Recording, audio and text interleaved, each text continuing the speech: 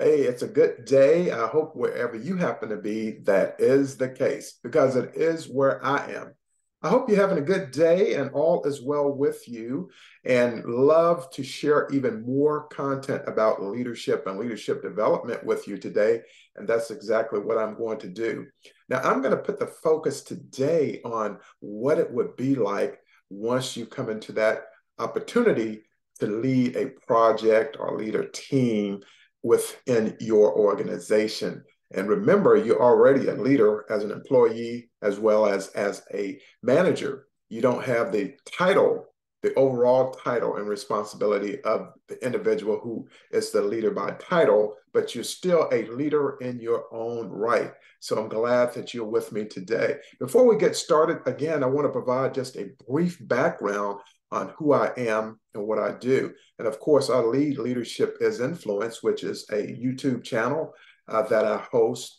And it's just been a lot of fun. I'm just early into the process. However, I'm learning fast, and a lot of it is the result of you and the support that you've provided me over the last three weeks. I'm coming up on a month for this particular YouTube channel, and uh, it's an honor to be of service to you but my background entails uh, serving over 20 years in the United States Air Force as a military officer. And I rose through the ranks from a second lieutenant in the United States Air Force to a lieutenant colonel.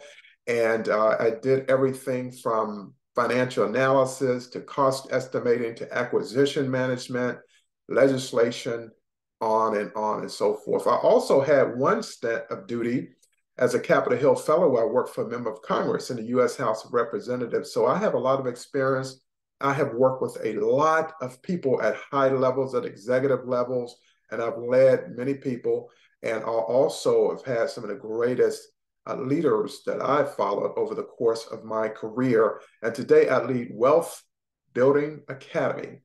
And uh, it's really a educational company with a focus on leadership and leadership development uh, not only have books, but I also have digital courses and I provide speeches and leadership development workshops as well. So, enough about me, enough already. Uh, let's talk a little bit about you. So, I put you in this position, this little scenario today, where I strictly talk about you taking on your very first leadership responsibility and duty. For example, let's say that you're leading a project for your organization. You've been tapped by the manager, who have been tapped by the leader to find someone that they believe and they have confidence in that can get the job done. And what this project entails is to put, put together a sales team. And the sales team is to sell widgets. Just this example that I'm going to use. And what you're going to have to do, you're going to have to do some sales, you're going to have to have some marketing, you're going to have some distribution. Uh, you're also going to have to assemble your team and pull them together. So let me ask you, as you're viewing this video and listening, what is the first thing that you're going to do? And then there was a pause. I'm not going to leave you hanging though. What I'm going to talk about is one of the first things you want to do is you want to find out exactly what the objective of the project, special project is all about. Once you find out what the goals are and the objectives, then you move forward. Then you select some team members to assist you with this undertaking, with this endeavor. And you select who you feel are some good people that to work with. For example, in your corporation, uh, in your company, in the organization, uh, someone who has a sales background, someone has a marketing background, someone that handles logistics, someone that handles production or operations. And then you want to, of course, have someone that provides some oversight to you. And perhaps you're going to have an engineer on the team. So, again, in this scenario, you want to assemble your team and put them together and it's going to call on your leadership. And you have six months to complete this objective to put more widgets that are out there for your customers. And in this case, they're going to be updated widgets, just as an example. It's not real, it's just a scenario. And so, uh, one of the first things that you want to do is you're going to have a meeting. a meeting of the minds. There's going to be some brainstorming. And then we're going to have to get whatever tools that we need in order to get the job done. And what I mean by tools, that you may have to purchase some parts to put these widgets together. You're going to have to have an assembly line. You're also going to have to have a budget. And so you're going to have a financial expert on your team as well. And so you once you assemble this and you put you actually purchase the uh, parts that are going to be needed to to assemble these widgets, then you'll get that production line going. And so one of the first things that you want to do is get the team together. You're going to hash all of this out, come up with some ideas, and then you're going to present the ideas that your team put together, and you're going to present it to your manager and your leader. And once you get that approved, then you can move forward. And so at this point, we're about, I don't know, maybe a month uh, down the line, and you have uh, all the, the parts to put the widgets together have arrived from the contractor that you work with, the supplier for the widgets parts. And then you're going to have the production line going. And then you're going to have someone in quality control. And uh, in so doing, it's going to ensure that when you get a first couple of the demos together, uh, then at that point, you can brief that up to the manager and to the leader just to let them know. And so at this point, you're about at the two month mark. And so in the third month, you are in full production. And in the meantime, while the production line is just humming along, you're going to pull together your logistics team and how these widgets are going to be delivered, um, whether you're going to be using local trucks for some of your clients, you're going to be using a mailing system, or you're going to have them flown to different parts of the country as an example.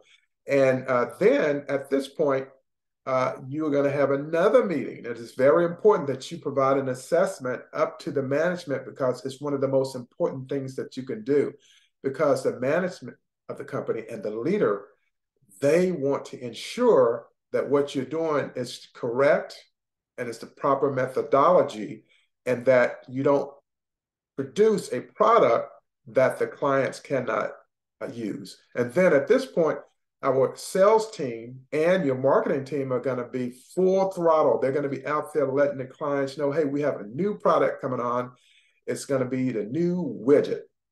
And this new widget is really going to help your customers to improve their business performance.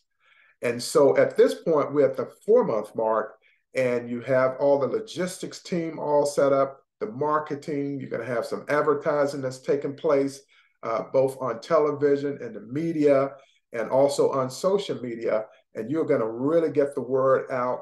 And at the same time, you're building your list in terms of new customers that you're going to be uh, bringing on board. And again, you're balancing your budget, making sure that you have everything that you need while you're setting up the uh, accounts receivable because of the new orders that you have coming in. And uh, at this point, the sales team is working overtime. So we're in uh, month five because we're going to get just millions of these new widgets to the customers, to the the current customers you have and to prospective new customers. And in so doing, your leadership, you're learning so much about leadership. Your management is able to observe what you're doing, as well as the leader with the title. And so, as you're going into the sixth month, when the goal time is all set up, when you're looking to achieve your goal, it's all smooth sailing. You have the uh, production line moving out. You have the trucks are going to, to, to deliver the parts. You're going to have some mailings that are go, go, going to go out, and everything is just flowing just the way that you thought it would. And this is all possible because your leadership and your management believe in you. They have identified you as a great prospective leader in the future. We're looking at upward mobility. We're looking at a pay raise. We're looking at more leadership and development workshops, more leadership training, and uh, everything is working good. And not only that, but members of your team have also been identified because you're not going to leave any man or woman out. You want them to grow and develop with you because there are probably going to be some more opportunities, perhaps where you're leading another project or one of them will. And you all know what to do as you're coming in with this new transformative a product for your clients and prospective new clients. And this is just kind of how things work out.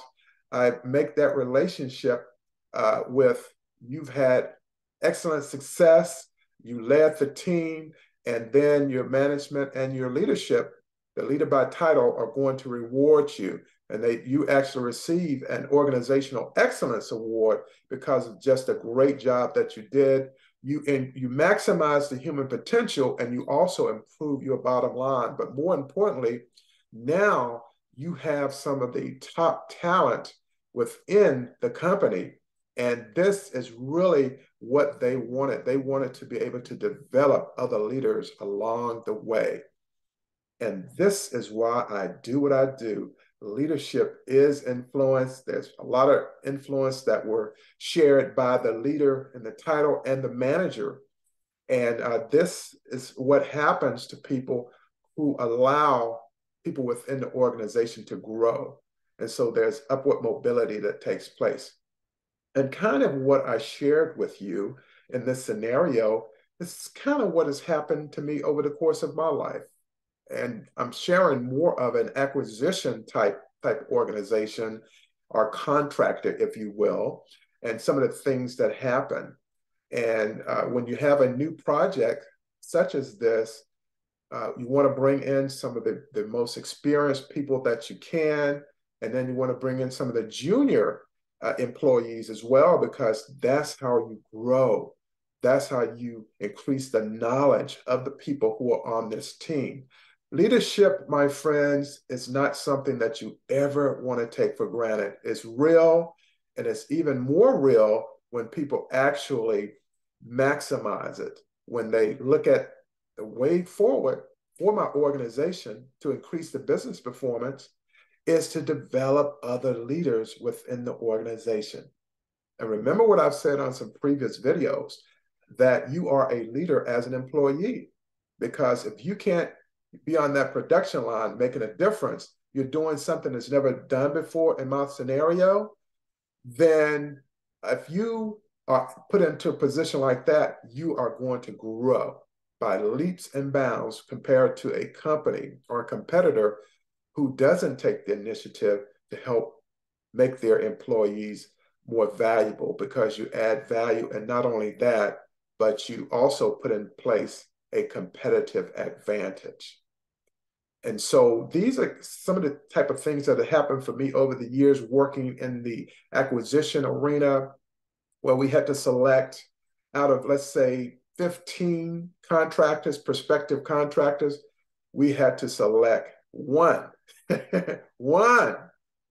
And of that number, there may be two or maybe three subcontractors, depending on what type of, of product that we're talking about, or systems that we're talking about. And then everything goes to work. You have your full team put together. Uh, you have the leader who is providing the oversight, the vision that he has for the organization for this specific project. Then you have the manager who handles all the workflow of all the employees. And that he's also, or she is also in a leadership position without the official title, the overall title. And then, of course, the employees who are also leaders in their own right and actually are the people who are being influenced by the manager and the leader with the title. And so when we look at our three legged stool, we can see our leader we can see our manager and our employee leaders all working as a team, a wonderful trinity that happens each and every day when it's done right. And so when you get your first opportunity to lead a team or a project, you'll have this video to rely on. But even more than that, if you want to learn more about what I do, just look at where my name is located and then look at the link here I have on Linktree I just simply go to https colon forward slash forward slash link, L-I-N-K, T-R, period, E-E forward slash Paul Lawrence Vann. You'll learn a lot more there about my leadership speeches, and I do deliver leadership speeches not only in the US, but other countries, such as Canada. And I also have leadership development workshops where I have an eight module program that I provide to organizations. But the best methodology for the leadership development programs is to sign up for a year. And you sign up for a year because you get all eight modules, and the modules can be delivered on a bi monthly basis. And then uh, you can also set it up for six months. So you have a smaller window, but you'll get more content and information delivered, whether it's in person uh, at your location and our virtual platform. And so we have that. I also have digital courses as well, how to become a leader of influence. And then I also have a book coming out. Leadership is what? Influence. You got it. And so that's really uh, what I do. And I, what I shared with you today was a synopsis of really the type of work I've done over the years. And as I mentioned before, I not only have a, a background in the military as a military officer, and I've attended every leadership school that was offered through the United States Air Force, but also I worked two years with Mobil Oil Company. So I worked in their chemical division uh, there in Beaumont in Houston, Texas. And so I did a lot of financial work, auditing. We purchased new plants. I would go help set up the, the accounting for that. And I worked on a team there. And uh, by picking up that corporate uh, Fortune 500 experience, it helped me to be recalled back into the Air Force. And I applied what I learned from Mobil as well.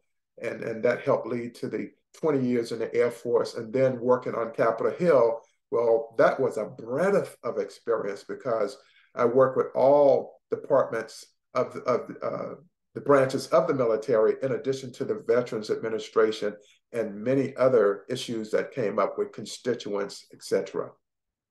So when it comes to leadership, uh, when you think about leadership, I wanted you to think about me. I'm know, known as Mr. Leader of Influence. Uh, I just recently was interviewed uh, by uh, several uh, media outlets. Uh, one happens to be the New York Business Now, and then there were many others. And so, if you want to learn more about that, uh, you'll be able to uh, do so. Uh, just send me an email at info at paulvanspeaks.com, and I'll be glad to share that with you. And you can also find me out on Facebook, out there on Twitter. You'll be able to find it on Twitter You'll be able to find it in LinkedIn as well as Instagram. And uh, I just like to share uh, what I know, my knowledge, my experience, expertise, and, and my abilities that I have as well. So, uh, for those of you who are new uh, in terms of just leaving college, leadership is your friend. It's not something to frown on, and it's something to embrace because once you obtain those leadership skills, qualities, and abilities, there's no one that can touch you because it's such a unique opportunity for someone to uh, be very competitive with the organization they work with. And it's one thing to be called a leader, but it's another to know what to do when you're in a leadership position or have a leadership role. And uh, this particular video here will help you to better understand the process. And this is just a little bit, I'm just sharing a little bit, you know, just, just we call this an appetizer, if you will. Because once I get into the leadership development side of things, things really open up for you. Things I discuss things such as hiring new talent, uh, leadership through coaching, and I talk about how to conduct a one-on-one uh, conference with an employee, and many, many other uh, insights that I can provide from a leadership development uh, perspective as it relates to workshops. So I had a great time today, and I hope that you did as well. As I always state, my time is up, and I thank you for yours. And I, I really appreciate all that you're doing. I'm almost a month into my YouTube channel here, Leadership is influence. So you can go to Paul Lawrence Vann, Leadership is Influence, and you'll see all 22 videos. I think this is the 23rd. And uh, at this point, I have over 1,000 subscribers in less than a month. I have close to 3,100 viewing hours. So I'm getting close to 4,000. And then once I reach that amount, I will uh, start uh, putting ads out in terms of uh, this particular YouTube channel.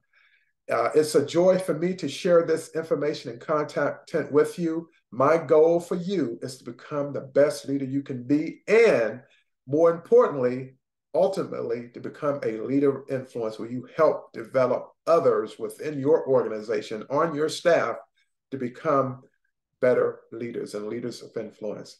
Have a great day, everyone. Again, Paul Lawrence Vann. Enjoy your day, and I'll see you on the next video with Leadership is Influence. Have a great day.